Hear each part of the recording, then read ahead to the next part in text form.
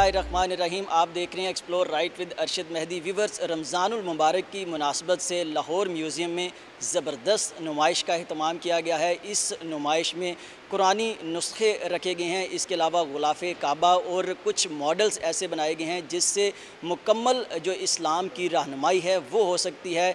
Models बनाए गए हैं जिसमें, जिन मॉडल्स में लोग वज़ू कर रहे हैं, नमाज़ अदा कर रहे हैं, दरस कुरान के जो कुछ मॉडल हैं वो भी बनाए गए हैं और रमज़ानुल मुबारक की मुनासबत से इंतहाई बेहतरीन नुमाइश का अहतमाम किया गया है। इस वक्त जो आर्गनाइज़र हैं, एहतशाम साहब वो हमारे साथ मौजूद हैं, हम उनसे जानते हैं। सर, ये बताइएगा कि क्या इस नुमाइश में क्या क्या चीज़ें हैं और कहाँ से ये सारे नवादरात जो हैं वो इकट्ठे किए गए हैं? जी, बिल्कुल, जैसा कि आपने भी बताया कि लाहौर म्यूज़ियम ने हमेशा एक कलीदी किरदार अदा किया है तालीम के फ़रोग के लिए, नॉलेज के फ़रोग के लिए और तारीख़ी फ़रोग के लिए। इन जो नवादरात जो आप इस नुमाइश में देख रहे हैं, उनका ताल्लुक लाहौर म्यूज़ियम की अपनी ज़ाती कलेक्शन से ही है।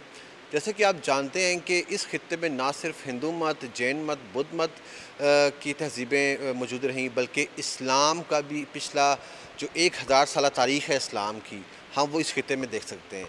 मोहम्मद कासिम के साथ क़ियामत के साथ इस्लाम की यहाँ आमद स्टार्ट हुई, उसके बाद से लेकर अब तक जितना भी यहाँ पे आर्ट्स एंड क्राफ्ट डेवलप होता है, इस्लामिक आर्टिजन्स के ज़रिए इस मुस्लिम क्राफ्टमैनशिप के ज़रिए तो उसको जो भी कलेक्शन हमारे पास लाहौर म्यूज़ियम में मौजूद थी, चाहे वो वुड वर्क की शक्ल में है, चाहे वो मेटल वेयर की शक्ल में है, चाहे वो कारपेट वीविंग की शक्ल में है, या चाहे वो मैनस्क्रिप्ट की शक्ल में है, उसको हमने कोशिश की यहाँ पर डिस्प्ले करने की। अब किसी ना किसी तरह वुड वर्क के ऊपर आपको कैलीग्राफी मिलती है कैलीग्राफी के डिफरेंट स्टाइल्स मिलते हैं जो वक्ता फ़वक्ता राइज रहे हैं इस इलाके में। जो वो कारपेट वेविंग की जो डिफरेंट टेक्निक्स रही हैं कारपेट के ऊपर बड़ी खूबसूरती के साथ कैलीग्राफी करना, जैसे कि आपने हमारी एग्जीबिशन में भी देख सके, सकते हैं कि अल्लाह ताला के ननानवे नाम कुंदा हैं कारपेट के ऊपर। सूरत यासीन और चारों कुल और इस तरह की इसमें रबी जो है वो प्लेट के ऊपर धात की प्लेट के ऊपर कुंदा है। तो ये पूरा जो है ना सिर्फ़ एक हमें एक मजहबी रुझानात का बताती है इस बरसगीर में, दूसरा जो यहाँ पे मुस्लिम क्राफ्टमैनशिप राइज रही है। उसका पूरी इन्फॉर्मेशन हमें बताती है, चाहे वो वुड वर्क में है, चाहे वो कारपेट वीविंग में है, चाहे वो मेडसिप शक्ल में है। जितने हमारे पास पुराने हाथों से लिखे गए कलमी नुस्खे मौजूद हैं, चाहे वो कुफिक में हैं, या चाहे वो दसवीं सदी ईस्वी के हैं, या चाहे वो सातवीं, अठारहवीं सदी, ईस्वी के हैं, पूरी एक हमें जो कैलीग्राफी में जो एवोल्यूशन रही है, जो डेवलपमेंट स्टेजेस रहे हैं उनके हमें अपने मैनस्क्रिप्ट के ज़रिए बेहतरीन हमें पता चलता है। तो इसलिए हमने जितने भी इस नुमाइश में नदरात डिस्प्ले किए हैं, वो ताल्लुक़ हमारे लाहौर म्यूज़ियम की अपनी ज़ाती कलेक्शन में से है। अच्छा ये बताइए कि आम तौर पे ये म्यूज़ियम में फ़ारन टूरिस्ट बहुत ज़्यादा आते हैं और ये नुमाइश देख के ऐसे लग रहा है कि जैसे मुकम्मल एक इस्लाम का चेहरा नज़र आ रहा है, लोग वज़ू कर रहे हैं, दरस कुरान हो रहा है तो क्या उनकी तरफ़ से जो है वो बताया जाता है, उनकी तरफ़ से क्या कहा जाता है कमेंट्स दिए जाते हैं टूरिस्ट की जानब से कि कैसा लग रहा है उनको ये सारी चीज़ें देख के? बिल्कुल हमारा लाहौर म्यूज़ियम में एक नुमाइश लगाने का इस तरह का मकसद यही होता है क्योंकि लाहौर म्यूज़ियम सिर्फ़ एक लाहौर शहर को रिप्रेजेंट नहीं करता। पूरे पाकिस्तान को पूरे सब कॉन्टिनेंट को पूरे साउथ एशिया को इसमें फिर जो विसेस आते हैं वो भी आप देखें ब्रिटिश अमेरिकन यूरोप से अफ्रीकन पीछे श्रीलंका की तरह मॉन्क्स आए हुए थे। तो आ, मकसद यही है कि अपनी प्री रमज़ान नुमाइश के ज़रिए हम भी उनको एक अपना जो इस्लाम है उसका एक सॉफ्ट इमेज हमारी क्राफ्टमैनशिप क्या रही है वो पूरा मैसेज उनको दे सकें कि इस्लाम में कितनी हारमनी है, कितना फेथ है, कितना पीसफुल मज़हब है ये।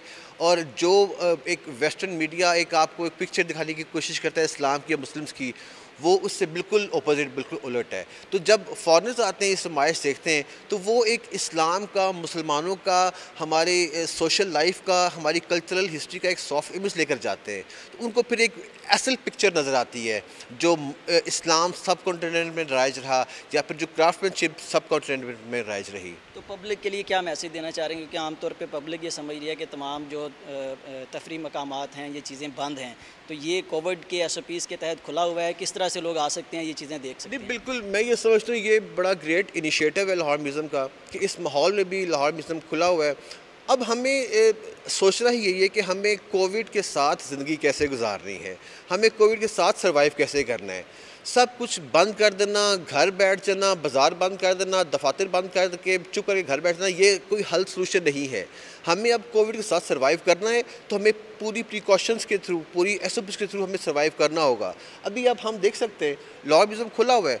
बेशक रमज़ान की वजह से भी और कोविड की वजह से भी तादाद कम है, लेकिन जो जो लोग आ रहे हैं, वो पूरी प्रिकॉशंस ले रहे हैं, पूरे एसओपी के साथ हम लोग सोशल डिस्टेंस अडॉप्ट कर रहे हैं सैनिटाइज़र मास्क कोई भी यहाँ पब्लिक आपको बगैर सैनिटाइज़र के या बगैर मास्क के या फिर बगैर सोशल डिस्टेंस को वो अडॉप्ट ना करती हुई नज़र नहीं आएगी। हमारा स्टाफ इस वाले से बहुत एक्टिव काम कर रहा है और ये डेफिनेटली हम लाहौर म्यूज़ियम के प्लेटफॉर्म से एक मैसेज ये देना चाहते हैं कि हमने इस इस दौर में, इस आने वाले वक्त, सालों में सेंचुरी में हमें कोविड के साथ कैसे सर्वाइव करना है हमें। बहुत शुक्रिया, जनाब। ये बिल्कुल इस वक्त लाहौर म्यूज़ियम में इंतहाई शानदार नुमाइश है, जिसमें कुरान करीम के नुस्खे रखे गए हैं। गुलाफ काबा का एक नुस्खा इसमें मौजूद है। आयतल कुर्सी है, मॉडल्स बनाए गए हैं, जिसमें लोग जो है वो दरस कुरान ले रहे हैं, नमाज़ की अदायगी कर रहे हैं, वज़ू जो है वो अदा किया जा रहा है। इंडोनेशिया से स्पेशल एक जो है वो लकड़ी का टुकड़ा मंगवाया गया है, जिसमें आयत करीमा दर्ज है। तो इंतहाई बेहतरीन नुमाइश है। रमज़ानमबारक में आप यहाँ पर आके